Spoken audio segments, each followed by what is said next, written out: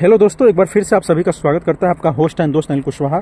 और आज मैं आप सभी को लेकर आ गया हूँ औरौरा को एक नए तरीके से दिखाने के लिए। सुदूर पहाड़ों के ऊपर मैं चढ़ गया हूँ और चीज़ों को मैं दिखाने की कोशिश कर रहा हूँ कि ये देखिए, जब आप सुदूर पहाड़ों के ऊपर से औरौरा घाटी को देखते हैं तो कैसा दिखता है? ये देखिए, पुल का एक एक पवा मैं आप सभी को दिखाने की कोशिश कर रहा हूँ कि ये देखिए। और चारों तरफ़ का व्यू देखिए, मानसून के जाने के बाद चारों तरफ़ का व्यू देखिए, कितना ही शानदार हो गया है। और मैं आप सभी को एक चीज़ और बता दूँ दोस्तों एक बात और बता दूँ कि ये जो पुल के पास में जो पानी आया है ना ये लगभग पिछले सात से आठ सालों बाद आया है क्योंकि बारिश इतनी अच्छी हो नहीं रही थी लेकिन इस बार अच्छी बारिश हुई। हम लोग जब छोटे थे तो पानी तो मत पूछिए पानी ये, एक भी टीले आप सभी को नहीं दिखे दिख रहे होंगे उस उस समय मैं बता रहा हूँ। लेकिन अब वैसी बारिश नहीं होती लेकिन फिर भी और सालों की अपेक्षा इस बार बहुत ही अच्छी बारिश हुई है इसलिए पानी ये सब इधर तक आ गया है नहीं तो इधर इधर तक ये तब पानी ये सब पानी आता ही नहीं था। तो मैं सोचा कि क्यों ना आज सुदूर पहाड़ों के ऊपर चढ़कर अहरौरा घाटी को मैं अलग तरीके से मैं आप सभी के समक्ष प्रस्तुत करूँ कि देखिए मानसून जाने के बाद अहरौरा घाटी कैसा दिख रहा है। लगभग शाम के पाँच बज गए हैं। हल्का हल्का देखिए, हल्का क्या काफ़ी धुंध, फॉग अब आने लगा।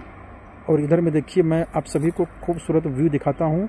एक बार फिर से ये देखिए, सामने में आप सभी को जो सफ़ेद सफ़ेद दिख रहा होगा ना, चलिए थोड़ा सा मैं जूम कर देता हूँ। ये वाला देख रहे हैं ना, हर घर नल योजना वाला जो प्रोजेक्ट है, जल जीवन मिशन। वो है। और बाँध में देखिए, पानी लबालब, उसके उस पार खड़े खड़े जो पहाड़ दिख रहे हैं।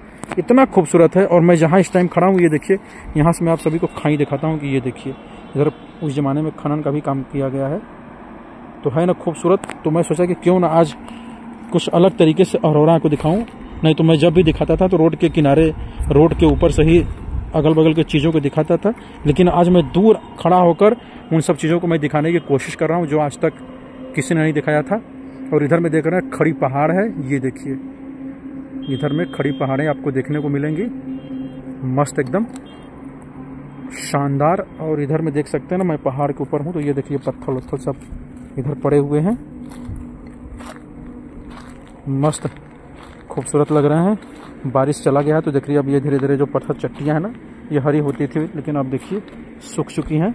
तो बस इस वीडियो में इतना ही दोस्तों। पसंद आ जाए तो लाइक करें शेयर करें कमेंट करें और नए हैं तो पेज को फॉलो करके जुड़ जाएँ ताकि आने वाली वीडियोस की नोटिफिकेशन आप सभी को मिलती रहेगी। फेसबुक पेज पर फॉलो कर लें और यूट्यूब चैनल पर सब्सक्राइब कर लें।